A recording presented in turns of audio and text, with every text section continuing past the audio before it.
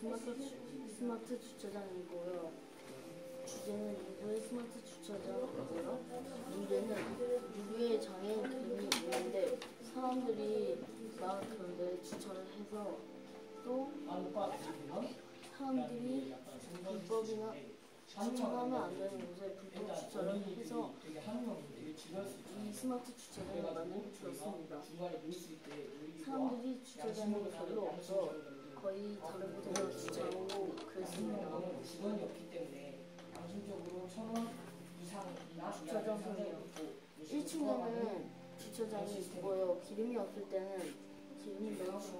하는 그 2층에는 아주 멀리에서 오는 사람들이 힘들 때는 쉴 수 있게 한 공간이 있고요. 만약에 사람들이 필요한 물건이 있을 때는 3층으로 가서 마트에서 사는 물건들이 있습니다.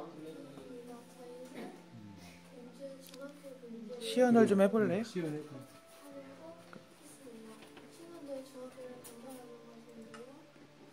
설, 시연하면서 설명을 좀 해줘요. 이게 어떤 거고 어떤 거고 이렇게.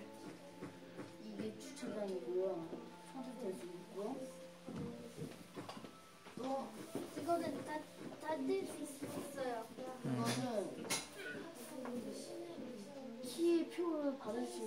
있는 곳이에요. 음. 눌러서 이거를 누르면 키를 받을 수 있고요.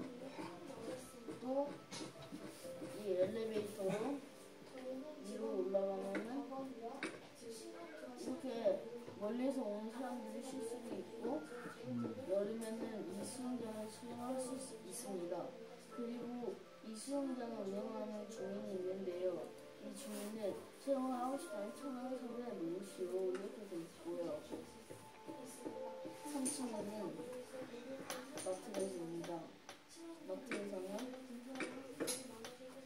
이런 장난감류, 또 먹는 거, 또 일할 때 필요한 것들, 또 생활에 할 생활에 생활에 도움이 되는 것들이 있습니다. 또, 또 계산하는 사람이 있습니다.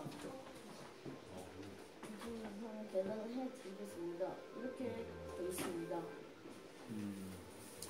코드 작업은 좀 했어? 코드 사용했나요? 아니요, 손으로 다 직접 만들었었어요. 그래. 수고했어.